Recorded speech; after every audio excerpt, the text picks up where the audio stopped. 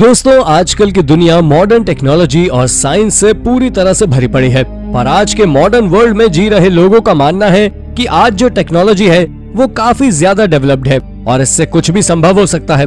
पर अगर आप भी ऐसा सोचने वाले लोगों में से एक हैं तो आप पूरी तरह से गलत हैं। जी हाँ क्योंकि आपको बता दें कि आज की मॉडर्न टेक्नोलॉजी एंशियंट टेक्नोलॉजी से कई गुना पीछे है। इसे सुनने के बाद आपके मन में ख्याल आ रहा होगा कि आखिर कैसे?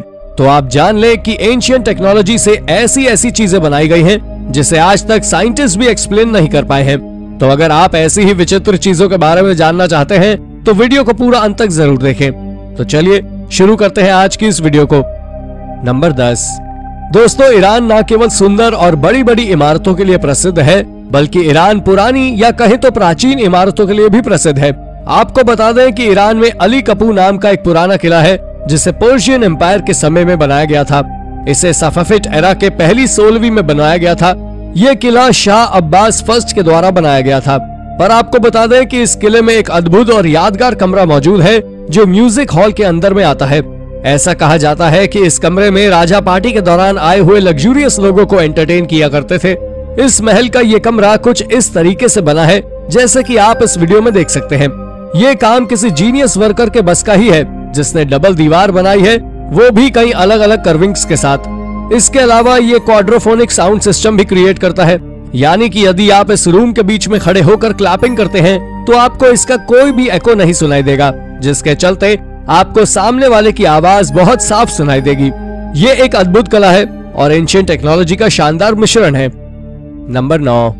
दोस्तों, चाहे वो कोई भी युग रहा हो, हमेशा लोगों ने यही सोचा है कि भगवान आसमान में रहते हैं। तो ये बिल्कुल सत्य है, और इसका जीता जागता उदाहरण है, ये इथोपिया के ईस्ट टाइगर में बना एबुना यमाडगु है। इसे चर्च इन द स्काई के नाम से भी जाना जाता है। इस जगह पर पहुँचने के लिए आपको सैंडस्टोन पर क्लाइम कर जाना पड़ता है। ये ज़मीन से करीब साढ़े छह सौ फुट की ऊंचाई पर है। आपको जानकर आश्चर्य होगा कि चर्च इन द स्काई पर बहुत कम और अच्छे खासे पुजारी ही ट्रैवल कर पाते हैं। इस जगह पर चढ़ना किसी मौत के मुँह में जाने से कम नहीं है, और अगर आप ऐसा करते हैं तो आप ऐसे पहले इंसान नहीं होंगे जो मौत के मुँह में जाएँगे, बल्कि इससे पहले भी बहुत से इस जगह पर गिर कर मर चुके हैं। इस साढ़े छह सौ फीट ऊँचे मंदिर में कला और संस्कृति से जुड़ी हुई देखने को मिल जाएगी। नंबर आठ। दोस्तों, पेरू में फोर्ट्रेस ऑफ़ सैक्सा ह्यूमन एक बहुत ही शानदार जगह है, और यहाँ आपको एंशियन टेक्नोलॉजी का चमत्कार देखने को मिलेगा। ये जगह बाकी सभी जगहों में सबसे ज़्यादा अलग और अनूठी है। पर अब जो मैं आपको बताने वाला हूँ उसे सुनने के बाद आप पूरी तरह भौचक्के होने वाले हैं। तो आपको बता दे कि फोर्ट्रेस पर जिस तरीके के पत्थर लगे हुए हैं, वो ऐसे प्रतीत होते हैं जैसे इन्हें लेजर टेक्नोलॉजी के द्वारा काटा गया हो। लेकिन सवाल ये है कि आखिर जब लेजर कटिंग टेक्नोलॉजी का आविष्कार सत्रहवीं सदी के बाद हुआ तो ये इतने पहले कैसे संभव है? वो भी बिना किसी औज़ार के निशान के। दरअसल आप जान लें कि एंशियंट इजिप्शियंस के पास कई ऐसी मशीनें थी, जिसके चलते ये पत्थर को गर्म को कर पिघला और काट देते थे। इसलिए इन पत्थरों पर किसी भी औज़ार का कोई निशान नहीं है। पर आखिर वो ऐसी कौन सी मशीनें थीं जिससे उन्होंने इतने बड़े बड़े चट्टानों को पिघलाकर इतने सुंदर आकार में बदल दिया? इस बात को जानने के लिए आज लगभग सभी साइंटिस्ट परेशान हैं। इन पत्थरों के ऊपर की गई कार्विंग बहुत ज़्यादा यूनिक है। नंबर सात। ये बात तो शायद आप में से कई लोगों को पता होगी कि रोमन के लोगों ने आज से करीब 1600 साल पहले ब्रिटिश इसलेस को छोड़ दिया था। लेकिन इनका रहन सहन वहाँ से अभी तक नहीं गया। इन्होंने वहाँ के लोगों को बिल्डिंग्स बनाने का तरीका भी सिखाया है। दुनिया की पहली करेंसी का निर्माण भी रोमन साम्राज्य ने ही किया। इसके साथ ही कई अन्य चीज़ें भी उनकी ही ब्रिटिश में आज भी एग्जिस्ट करती है। और साथ ही जो आज आप लोग पानी के पाइप में टैप का इस्तेमाल करते हैं, ये कोई हमारे द्वारा की गई खोज नहीं है, बल्कि इसे रोमन अपने शासन की शुरुआत से इन वाटर टैप्स का इस्तेमाल करते आ रहा है। आप इस इमेज को देखिए, जो कि एक वाटर टैप की है। और ये इटली के एकेडेमिया म्यूज़ियम में रखा हुआ है। लेकिन ब्रिटेन में इस तरह के वाटर टैप अनगिनत जगहों पर लगे हैं, जो कि एक बहुत अजीब बात है। ये करीब 2100 साल पुराने हैं। नंबर छह। दोस्तों, मेक्सिको में लोग आमतौर पर चिनाम्पास का उपयोग करते हैं। जिन्हें नहीं पता, उन्हें बता दें कि चिनाम्पास तैरते हुए गार्डन को कहते हैं। इसे ज़रूरत के समय पर उपयोग में लिया जाता है। आपको बता दें कि आस्टेक एम्पायर ने पंद्रहवीं सदी में करीब छह लाख लोगों को इसके लिए बुलाया था। बहुत से हिस्टोरियन का मानना है कि चिनाम्पा एग्रीकल्चर मेसो अमेरिका में डेवलप हुई थी। वो भी आस्टेक के आने के करीब सौ साल पहले। ये मेथड विशाल कनाल्स में लागू होती है। ये देखने में लेक बेड की तरह नज़र आता है। और ये डिस्कवरी जितनी ज़्यादा पुरानी है, उससे कई गुना ज़्यादा उपयोगी भी। नंबर पाँच।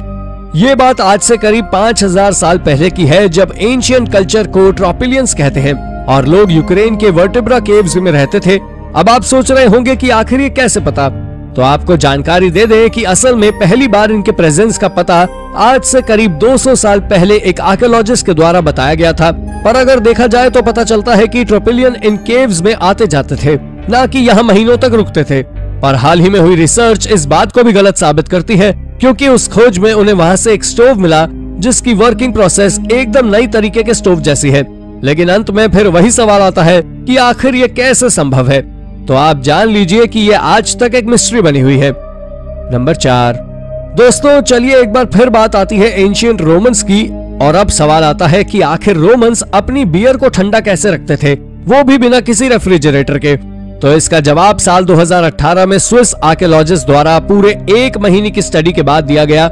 उनका कहना था कि ये बियर को 16 फीट गहरे गड्ढे के निचले हिस्से में बर्फ़ को मदद लेकर बियर को ठंडा रखते थे। वो उस गड्ढे को न केवल बियर ठंडी रखने के लिए, बल्कि किसी भी चीज़ को ठंडा रखने के लिए उपयोग करते थे।